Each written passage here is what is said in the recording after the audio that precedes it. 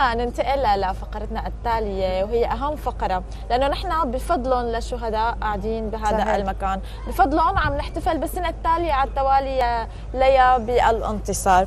نحن رح نكون اليوم مع ضيوف مؤسسة جعلت من أشرف الناس وأنبلهم بوسلطة.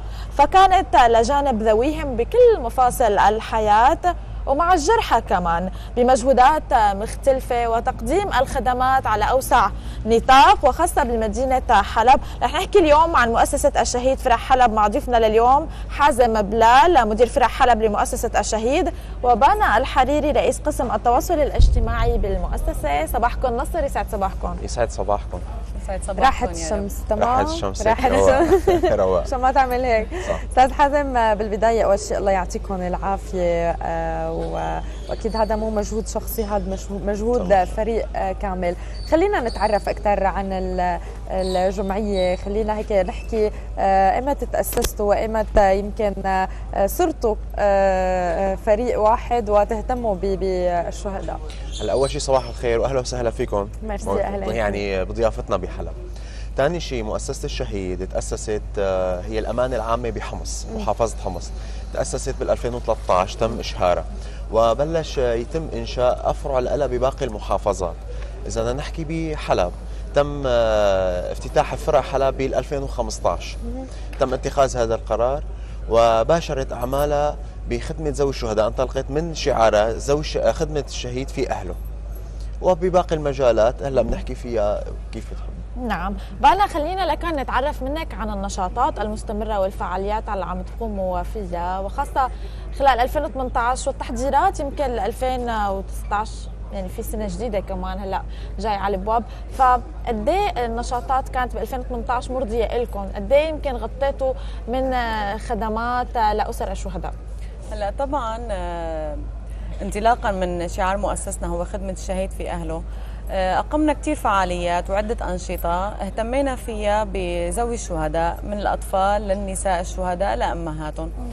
أقمنا عدة فعاليات ونشاطات تشاركنا فيها مع جمعيات تانية لحتى نقدم الخدمة المناسبة لهالطفل أو لهالمرأة على نطاق واسع وشامل.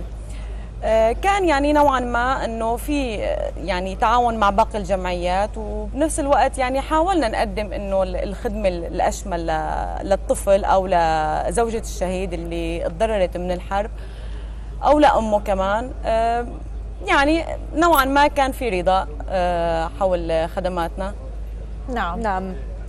خلينا أستاذ حازم نحكي مع حضرتك. يمكن عمل المؤسسة آه، بلش مع الانتصار آه، بحلب صحيح؟ تماما. هلأ بال... نحن ب 2015 الشهر التاسع. 2015 لسه ما كان لا بس. آه، أكيد نحن كنا واثقين بالانتصار. أكيد. هلأ هي مرحلة عمل المؤسسه ببلش بعدة مراحل. مم. هي المرحلة الأولى هي تجميع البيانات نحن بنسميه مسح الاجتماعي.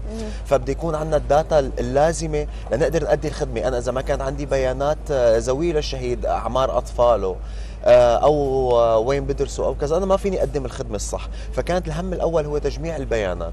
وبناء على هالشيء انتقل فريق المسح الاجتماعي قسم حلب لقطاعات.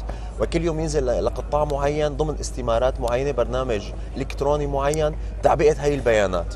بعدين التفتنا بقى بعد ما صارت البيانات موجودة عندنا إنه كل عائلة شو هي بحاجة؟ أحيانا بيجيكي في خدمات طبية لازم تتقدم لذوي الشهداء. أحيانا خدمات دعم نفسي للأطفال أحيانا بتكون خدمات إغاثية أحيانا بتكون خدمات للجرحى. تم افتتاح فرع فرع الجريح عندنا بالمؤسسة. تمت كثير عمليات جراحية اللي قامت فيها المؤسسة. طبعا بجهود الأيادي الخيرة الموجودة بالتعاون مع المجتمع الأهلي مع المجتمع الحلبي بشكل عام. في تشبيك مع عدد من تماما. لأنه هذا هي المسؤولية مسؤولية ذوي الشهداء مسؤولية كثير كبيرة. وما في أي جهة فيها تحملها لحالها. إذا ما تشبكت آه، الجهود الحكومية مع جهود المجتمع الأهلي والمحلي لنقدر نقدم يعني خدمة بسيطة ناس قدمت أغلى شيء عندها. أكيد. يمكن أنا كمان خلال زيارتنا بالوفد الإعلامي توجهت لأكثر من أسرة شهيد وجريح أيضا. وفعلا في كثير عدد كبير بمحافظة حلب. خلينا نقول من جرحى وشهداء يعني الله يرحم الشهداء. تماما. بانا خلينا نحكي شوي عن أطفال الشهداء. كونك عم تشتغلي آه، كمان بمواقع التواصل الاجتماعي وهذا أهم شيء. للعالم كله لأنه بتعرفي كل العالم عنا على مواقع التواصل الاجتماعي. هاي الصورة اللي عم تظهروها أيضا لأطفال الشهداء من نشاطات من فعاليات حتى لأسر الشهداء حتى للجرحى. قد إيه الرسالة اليوم مهمة حتى نوعي الناس شوي أيضا آه، لهذا الجانب المهم بحياتنا اللي نحن بفضلهم اليوم موجودين. هلأ أكيد هو يعني هي رسالة كثير كثير مهمة آه، ولازم نحن نأديها بالأخير. هلأ آه، الطفل بالأخص يعني بالذات هو الطفل أكثر حدا يمكن تأذى من هاي الحرب أكيد. استشهد أبوه أو فقد حدا من ذوي من ذوي عائلته ممكن والدته ممكن أخوه. تعرض كثير لإساءة بهي الحرب. فنحن كانت مهمتنا الأساسية التوجه لهذا الشخص المتضرر سواء كان طفل أو أنثى. حاولنا نشتغل عليه آه، ندعمه نفسيا ندعمه اجتماعيا حملات توعية حملات آه، ثقافة ممكن تنمية يعني حتى نحن تابعناه بدراسته. آه، حاولنا نخرجه من هي الحالة. أثرنا عليه إيجابيا قدر المستطاع. نحن ما غيرنا الواقع اللي هو عاشه. ولكن غيرنا ردة فعله للواقع. صحيح خاصة عاشوا رعب معين يعني ببعض طبعاً. الظروف. أكيد. أه هلا أكيد نحن لحالنا ما بنكفي بس صحيح. بالتشبيك مع بالتشبيك مع باقي الجمعيات أه والجهات الثانية أكيد قدرنا نعمل له شيء. ولاحظنا أكيد هذا الشيء على الأطفال اللي تعاملنا معهم.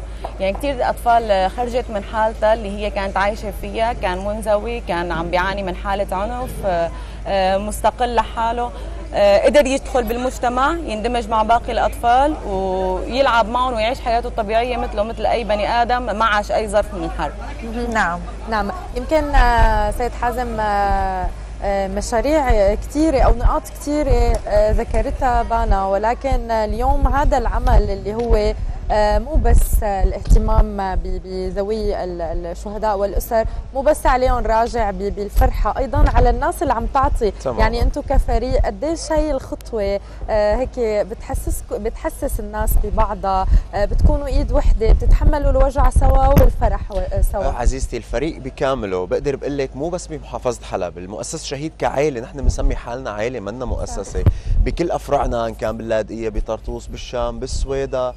كلهم هون عم يشتغلوا على مبدأ إنه نحن لولا هاي الفئة نحن ما كنا موجودين فنحن ما عم نأدي عملنا كموظفين أو كعمل هذا كواجب. هذا بتحسيه كأنه استمتاع. يعني أنا كيف بستمتع وقت بقعد مع عائلتي بطلع مع أصدقائي. ونفس الشيء الفريق كله وقت بيقدم هي الخدمة بتحسيه عم بيستمتع من قلبه. والاهتمام يوم بعد يوم. تماما. وهي هذا العمل عزيزتي هذا ما بنتهي.